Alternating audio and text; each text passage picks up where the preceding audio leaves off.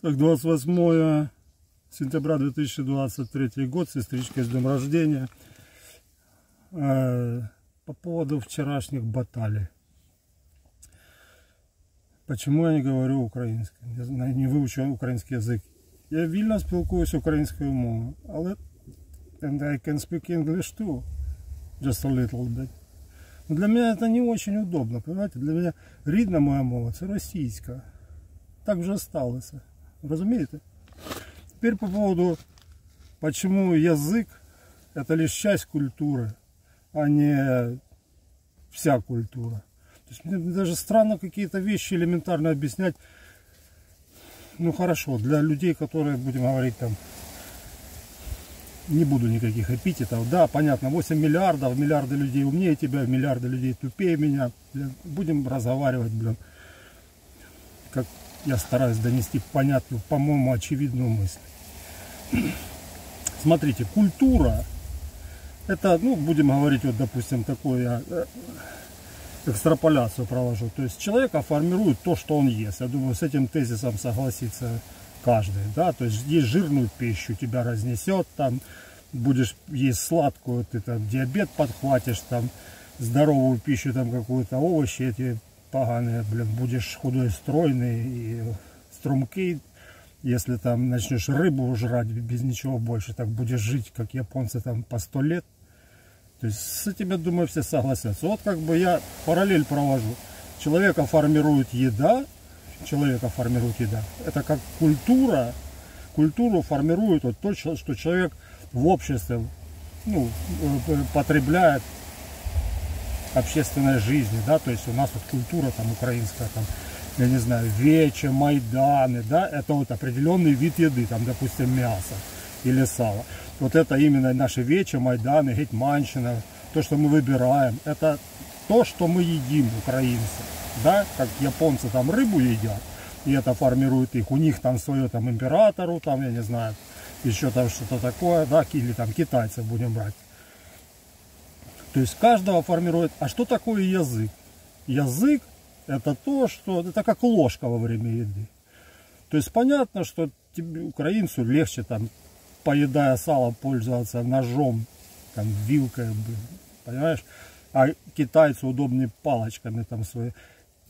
Конечно, понятно, что есть украинскую пищу удобнее українськими інструментами. На українській мові спілкуватися, коли ти ну, потребляешь украинскую культуру.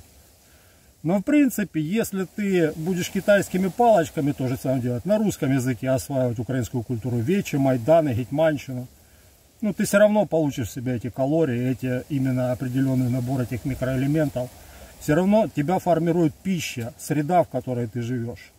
А не то, понятно, что неудобно этими палочками. Все, оно что-то мимо проваливается. Если я пытаюсь доносить это на чужом языке, вот хороший пример, да, то есть я на чужом языке пытаюсь, если я буду есть, я привык пользоваться, блин, условно говоря, китайскими палочками или там ложкой. Дадут мне китайские палочки, я половину этого не съем. То есть сейчас мне пытаться всучить украинскую мову или английский язык, да, конечно, я как-то себе в рот это запихаю.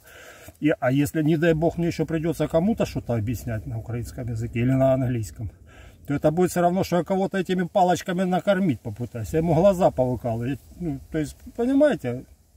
Но, ребята, еще раз обращаю ваше внимание, формирует человека – именно среда, именно культура. Вот то, что у нас там, где два украинца, там три гетмана, это украинская культура. А в россиян без царя в голове это безумный человек. Наши языки очень похожи. Мова там, ну это все славянское, это даже не такая разница, как между английским и это Но это принципиальная разница в отношении к жизни.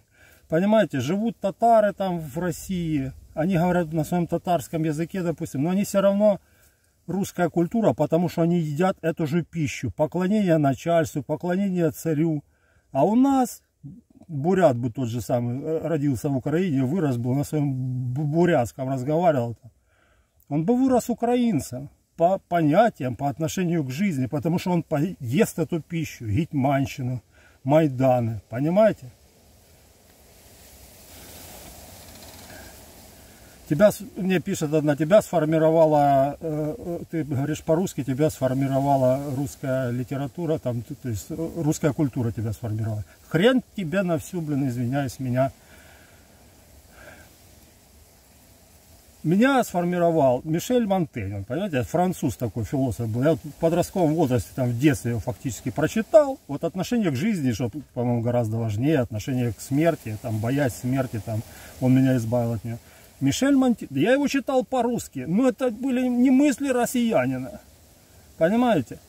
То есть, я ложка важна, конечно, конечно, эти палочки, там, то, что я какие-то мысли я пропустил, если бы я читал его в французском. Почему я выучил английский? Потому что Тома Шарпа, черный юмор его, я хотел именно понять полностью, потому что невозможно на украинском или на русском языке вот этими инструментами невозможно потреблять эту пищу. Ты не можешь есть суп китайскими палочками. Поэтому тебе приходится выучить английский для того, чтобы читать Тома Шарпа в подлиннике и понимать его досконально.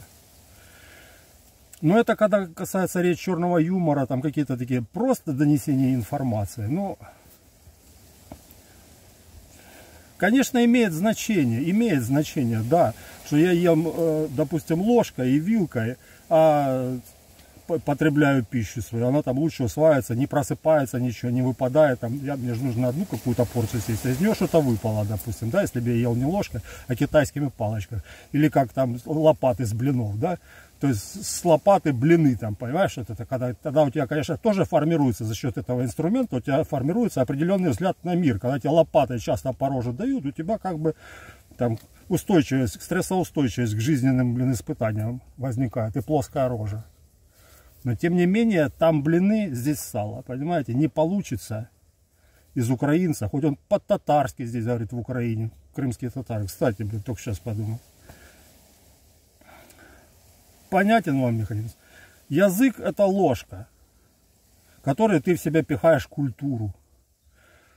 То есть ты украинскую культуру, может, гораздо важнее то, что перед тобой на столе лежит, в какой ты среде э, живешь, что ты потребляешь. Гораздо важнее. Конечно, правильнее было бы. И я за то, чтобы через поколение... Прабабушка, бабушка со мной говорили по-украински. Но в силу обстоятельств, да не от меня, которые зависели. Для меня с детства родным язык стал русский язык. Я думаю, еще через пару поколений, блин, здесь будет украинский. Потому что, да, правильно потреблять украинскую культуру выделкой, а не, блин, лопатой, с которой блины сняли. Но это будет через время, это не так важно. Важно, чтобы здесь была украинская культура. Чтобы не было здесь не приперли сейчас россияне, ну и сейчас, 14 -го года, вот, там под Луганском, да, когда я воевал, блин, нафиг, это россияне прут сюда свои, блин, нафиг, вот эти блины на лопате. В этом случае гораздо страшнее для Украины эти блины, эти понятия, эти, блин, то, чем они пытаются нас кормить, а не то, что они это на лопате, на русском языке несут. Я не знаю, донес я не донес, длинно говорю, но вроде уже не так эмоционально, как вчера. Язык – это инструмент, которым ты потребляешь пищу. Пища важна.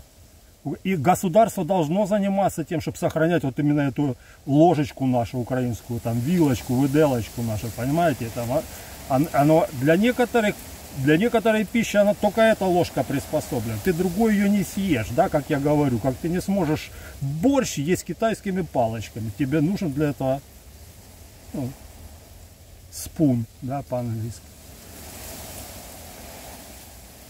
И россиянин мне пишет, не при на российскую культуру. Вот мы там не агрессивные, мы там, вот я вырос, я хожу по Москве, езжу на велосипеде по Москве, я, у нас тут никто воевать не хочет. Так это как раз важно, ваша российская культура, вне зависимости от того, на каком языке вы ее потребляете. Она позволяет вам толерантно, совершенно спокойно относиться к какой-то плешивой чмо, блин гонят вас сотнями тысяч убивать сюда. Остальные такие, как ты, там на велосипеде в Москве, сидит и спокойно такой, а я тут ни при чем, мы тут ни при чем.